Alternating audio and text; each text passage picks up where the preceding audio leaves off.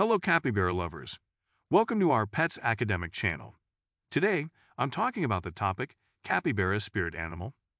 If you are new to our Pets Academic channel, please subscribe.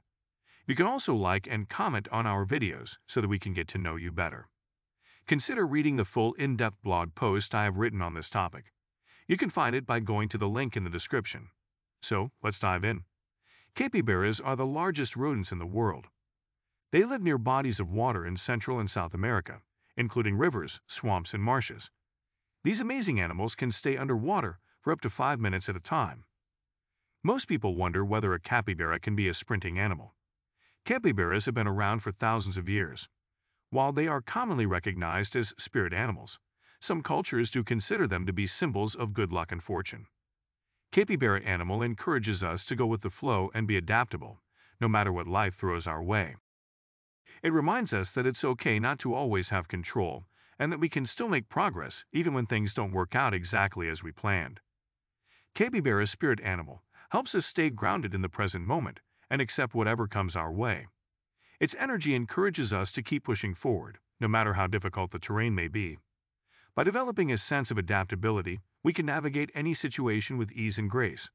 Let Capybara's spirit animal guide you on your journey and help you stay connected with yourself in times of challenge. Capybara Spirit Animal holds the power of adaptability and teaches us to stay open-minded. It reminds us that we don't have to struggle if things don't go as planned. Instead, it encourages us to find creative ways to work with whatever life throws our way. Its energy helps us remain connected to the present moment and accept whatever comes our way. Let Capybara Spirit Animal help you go with the flow and find success despite any obstacles you may encounter. With its energy and teachings, you can remain resilient and flexible in any situation. Take a moment to observe the lessons of Capybara Spirit Animal and use them to help you remain strong and adaptable in times of challenge. Savor its energy as you stay connected with yourself and find your inner strength. In the full blog post I have written on my website, I have done hours of research and I have written much more details about the above topic and subtopics.